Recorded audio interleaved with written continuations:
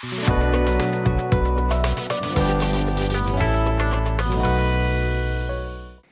so in this video we are going to know about sorting in details. So please keep watching till the last because we have very interesting things to cover in this video. So we will take this data into Power Query. I'll get rid of this changes step. Now the best base way or you know easy way to sort the data like you can just say okay sort ascending. So I can say okay sort ascending now, if you look at this data the previous row, you can see this. I do have ACA, but uh, with a small letter A. Now, if I look at this data, that is not present in this section. And if I go scrolling down, then I can see, okay, this ACA is at the end. Okay. And if you look at this step code, you can see that table.sort, this is source, and this is the order column and how it should be sorted. Now, problem is that say okay sort ascending sort descending right in this way. And you can specify multiple column in this way. Now the thing is that the main point of this video is that how we can do the sorting using case insensitive okay? And if you go in the power query a reference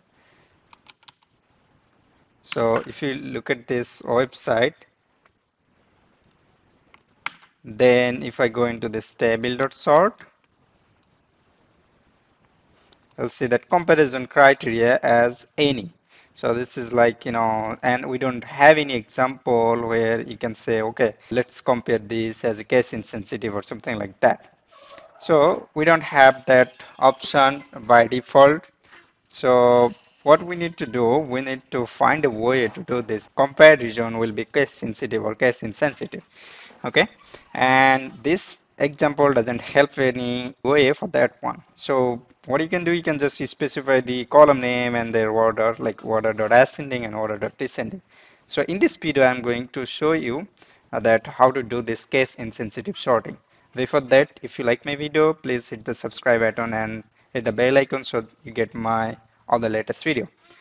Okay, so what we need to do, we'll try to understand what's this part is doing. Table.sort and then it's saying that comparison criteria as any.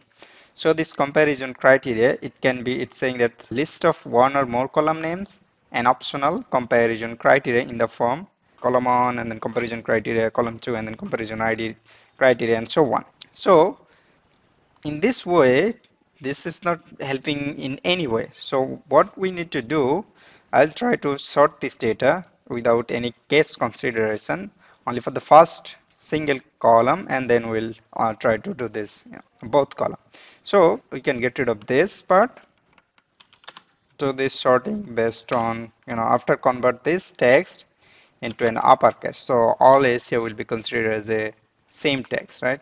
So you can say text upper and this is going to be the field access of the record and get rid of everything else. So now you can see that ACA is under this particular section and it's it doesn't consider the case because we converted that into uppercase. We can just do the lower as well but if we do the lower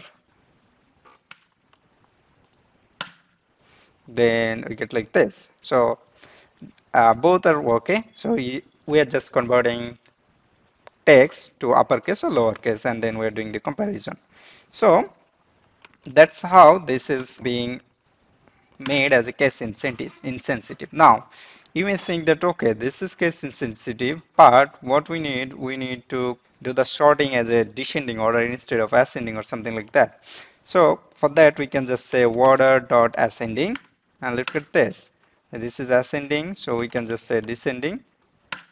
And look at this that sub-Saharan Africa is at the top and Asia is at the bottom right so this is how we make the case is sensitive can say what type of ordering we need okay?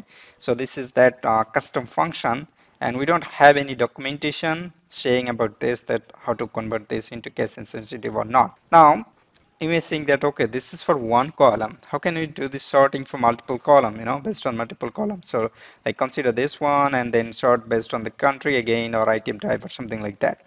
So for that this is need to be a list of function or criteria.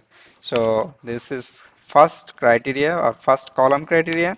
Now we need to add another column criteria and this need to be a nested list. So we can just say each in the same way we can say text dot upper and then you can just specify the field access. So if it's country then you can specify the country. If it item type then you can specify that one as well.